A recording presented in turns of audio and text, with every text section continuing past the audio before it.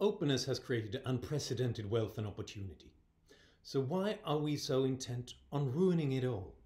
From time to time, we engage in group hatred and authoritarianism.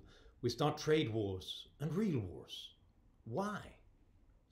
The answer lies in our human nature. Homo sapiens conquered the world because we perfected the art of cooperation. We can make use of the skills, ideas, and innovations of every other human being.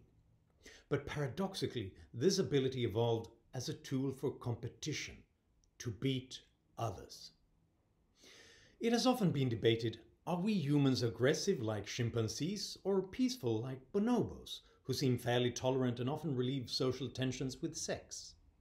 The answer is that we are both. We are like bonobos within our group, but easily behave like chimpanzees between groups, or worse.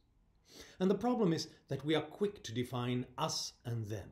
Experiments show that we can become loyal to arbitrary groups almost instantly and treat relations with other groups as zero-sum games. Therefore, it's easy for demagogues to stir up group hatred and make us think it's eat or be eaten.